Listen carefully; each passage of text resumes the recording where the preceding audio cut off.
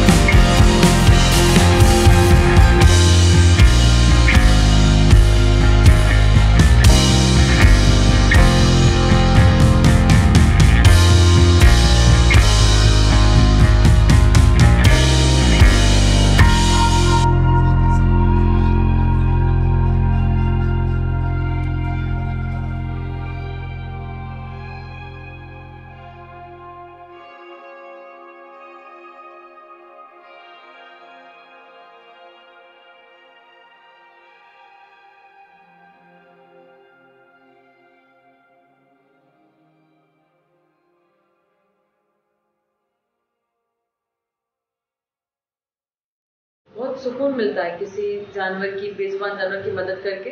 And they say thank you in their own ways humans don't but dogs do I noticed it so many times that the way they look at you और just with one little touch of their paw they say thank you उनके लिए हम जो भी करते हैं उसके लिए। And that is the most satisfying moment उससे बड़ा सेटिस्फैक्शन ही नहीं मिलता। People of experience this will vouch for this कैसा होता है।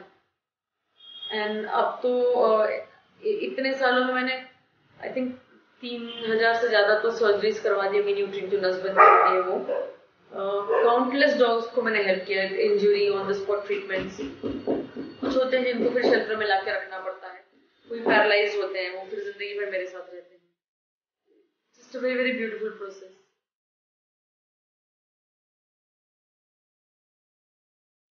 इसमें मेजर रोल छोटे बच्चे प्ले करेंगे। विच इज़ वाई मैंने मेरा शेल्टर ऐसा बनाया है which is enclosures all around and बीच की जगह खुली है, वहाँ झूले और पार्क जैसा डेवलप किया सो छोटे बच्चे आके खेल सके वहाँ पे। सो छोटे बच्चे जब देखेंगे, क्योंकि अक्सर क्या होता है पेरेंट्स बच्चों को बहुत डरा देते हैं कि कुत्ता काटेगा। क्यों काटेगा कुत्ता बिना बात बच्चा बहुत छोटा रहता है दो तीन साल के बच्चे को थोड़ी समझता है। वो तो नेचुरली उनका इंस्टिंक्ट रहता है to play with an animal भगवान ने ऐसा बनाया है, पर माँ बाप ही डरा देते कि नहीं नहीं काटेगा, दूर रहो।